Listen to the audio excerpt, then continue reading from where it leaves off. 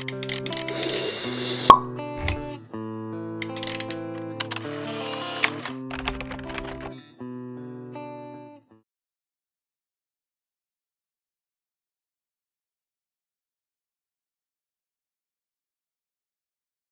Lead India channel को subscribe कीजिए और दबाइए बेल आइकॉन को ताकि आपको मिलता रहे हमारा सबसे लेटेस्ट वीडियो नमस्कार दोस्तों ये वीडियो आपके लिए बहुत इंपॉर्टेंट है, क्योंकि इस वीडियो में हम अपने मीडिया के सभी साथियों को बताएँगे कि आप मीडिया में कैसे जॉब पाएँ। और ये आपके लिए बहुत इंपॉर्टेंट होने जा होने जा रहा है, क्योंकि आप कोर्स कर लिया आपने आपने इंटर्नशिप कर लिया, लेकिन जॉब्स की तलाश कर रहे हैं, कहाँ से मिले मीडिया में जॉब ये हम आपको बताएँगे इस वीडियो में।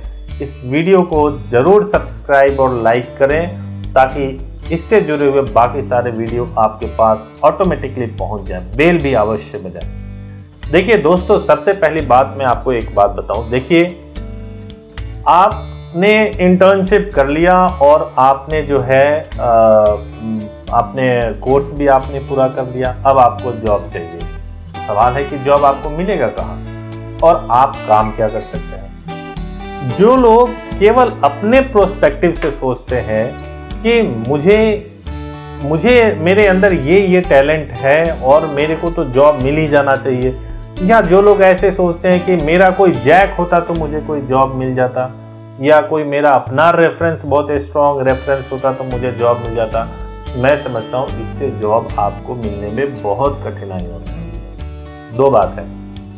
सबसे पहली बात यह है कि आप ये देखिए कि जो व्यक्ति मुझे रखेगा अपने यहाँ जॉब पे, मैं उसको क्या डिलीवर करके दे सकता हूँ? मैं उसके किस काम को कर सकता हूँ? पहली अंडरस्टैंडिंग तो आपकी ये होनी चाहिए, अगर आप टीवी चैनल में जा रहे हैं या फिर प्रिंट मीडिया में जा रहे हैं तो टीवी चैनल के स्टेप ए से लेकर के जेड तक कितने काम होते हैं कौन कौन से पोजीशंस पे लोगों को रखे जाते हैं, और वो सभी लोग उस पोजीशन पे क्या काम करते हैं? ठीक उसी प्रकार से प्रिंट मीडिया में इतने पोजीशंस होते हैं, उन सभी पोजीशंस पे बैठे हुए सभी लोग क्या काम करते हैं, ये आपको जानना बहुत ज़रूरी है। जैसे मान लीजिए, एक रिपोर्टर होता है, एक सब एडिटर होता है, एक एडिटर होता है, एक वीडियोग्राफी करने वाला होता है, एक डेस्क एडिटर होता है। सबके अपने अपने रोल है। आखिर कंपनी क्यों अलग अलग ये पोजीशंस बनाई हुई है? क्यों अलग अलग पोजीशंस पे लोगों को हायर करती है, उनको सैलरी देती है, क्योंकि इनका काम अलग होता है। अगर आपने एक अच्छे जगह से इंटर्नशिप किया होगा तो आपको वहाँ ज़रूर ये समझाया गया होगा कि टीवी चैनल के अंदर न्यूज़ मीडिया के अंदर कितने पोजीशंस होते हैं और उन पोजीशंस पे सबका क्या काम होता है प्रिंट मीडिया में कितने पोजीशंस होते हैं, उन सब पे क्या काम होता है। तो साथियों, आप ये तय करें कि आप कौन से पोजीशन के लिए फिट बैठते हैं। आप कौन सा काम कर सकते हैं? अगर आपके अंतरात्मा से ये आवाज़ आ रही है कि मैं ट्रेनी रिपोर्टर बन सकता हूँ मतलब आपने कुछ नहीं सीखा है। मतलब आपने बिल्कुल भी कुछ नहीं सीखा है। आप ट्रेनी रिपोर्टर ट्रेनी रिपोर्टर कोई नहीं रखेगा आपको। एक ट्रेंड व्यक्ति को ट्रेनी के तौर पर रखा जाता है, ताकि वो हमारे ऑर्गेनाइजेशन के हिसाब से काम कर सके। समझ रहे हैं बात को? ये बहुत इंपॉर्टेंट बात है जो मैं आपको कह रहा हूँ।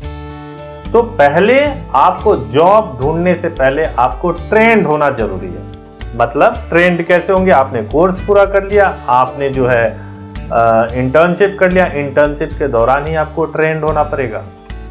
कैसे ट्रेंड होंगे? आपको फ़ील्ड में भी जाकर के काम करके देखना होगा, आपको सोशल मीडिया पे भी काम करके देखना होगा, आपको स्टोरीज भी लिखना होगा, आपको वेब मीडिया पे भी काम करना होगा। आपको डेस्क पे भी काम करना होगा, आपको वीडियो भी एडिट करना होगा, आपको एंकरिंग भी करना होगा, आपको सभी तरह के काम इंटर्नशिप के दौरान करने चाहिए। जहाँ इंटर्नशिप कर रहे हैं, वहाँ उनसे बोलें कि आप इंटर्नशिप करो, के दौरान ये प्रोवाइड करो और आप भी उनको समय दें इन चीज़ों के लिए। जब आप सभी तरह के काम करेंगे तो आपको पता चलेगा कि आप किस काम में बेहतर हो रहे हैं। आप उस काम में अपने आप को नंबर वन बनाइए, जिस काम में आप बेहतर कर रहे हैं। चाहे वीडियो एडिटिंग हो, चाहे रिपोर्टिंग हो, एक रिपोर्टर के लिए क्या इंपॉर्टेंट है? अगर आप रिपोर्टिंग करना चाहते हैं, आप मुझे बताइए, एक रिपोर्टर आप बनना चाहते हैं, नौकरी चाहिए तो क्या इंपॉर्टेंट है? नंबर वन पॉलिटिकल रिपोर्टर बनना चाहते हैं तो पॉलिटिकल नॉलेज आपका सोर्स सोर्स इंफॉर्मेशन कहाँ से लेंगे आप? ये सब बहुत ज़रूरी तो ये सब कुछ आपके अंदर इंटर्नशिप के दौरान आ जाना चाहिए। तभी आप कहीं भी जाएँगे और ठोक के आप ले सकते हैं। दूसरा चीज़ ये है कि आपकी सीवी बहुत अच्छी बननी चाहिए। आप हेल्पलाइन पे हमारे कांटेक्ट कर सकते हैं। आपका सीवी किस तरीके से बनना चाहिए? क्या मेंशन करना चाहिए सीवी के अंदर? क्योंकि सीवी से ही जो इंटरव्यू लेने वाला होता है, वो पहली बार में पता कर लेता है कि आपके अंदर क्या है। आपको इंटरव्यू के लिए प्रिपरेशन कैसे करना चाहिए? ये सब भी बहुत इंपॉर्टेंट होता है। तो अच्छे तरीके से जॉब्स पाने के लिए पहला, आप अपने आप को ट्रेंड करें। दूसरा, आप देखें कहाँ पर वैकेंसीज हैं और उस वैकेंसी पे जाकर के इंटरव्यू दें। लेकिन आप क्लियर रहें कि आपको किस पोजीशन के लिए जॉब चाहिए और बिल्कुल उस पोजीशन की ही बात करें, ना कि आप मुझे कोई भी जॉब दे दें, मैं मीडिया में काम करना चाहता हूँ। ऐसे नहीं होता। है ना? तो मुझे लगता है कि इस वीडियो को देख के आपको कुछ लाभ हुआ होगा। अगर आपके कुछ स्पेसिफिक प्रश्न भी होंगे इससे तो आप इस डिस्क्रिप्शन में जाएँ, इसमें ईमेल आईडी लिखा हुआ है, हमारा हेल्पलाइन नंबर लिखा हुआ, आप जाकर के उन हेल्पलाइन नंबर पे डिस्क्रिप्शन पे हेल्पलाइन नंबर पे या ईमेल पे या कमेंट करके अपने सवाल पूछें, हम लोग बिल्कुल आपको जवाब देंगे। आप हमारे ऑफ़िस में भी आके कांटेक्ट कर सकते हैं।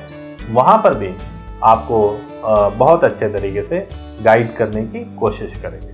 धन्यवाद।